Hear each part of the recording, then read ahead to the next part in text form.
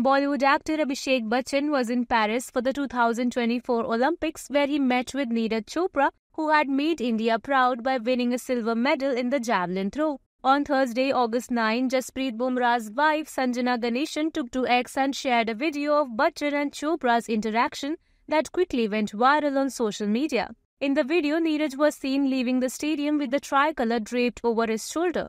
Upon spotting Abhishek, he approached him and the actor warmly embraced the silver medalist. The Ghoomer actor congratulated Neeraj on his remarkable achievement, offered words of encouragement and gave him a supportive pat on the back before Neeraj exited the stadium. Sanjana captioned the post, Nice gesture by Abhishek Bachchan and you make the nation proud. Well done, congratulations Neeraj Chopra on winning the silver medal for India. Abhishek Bachchan also took to Instagram and shared a picture holding the tricolour of India. He wrote, Represent Jai Hind, come on India.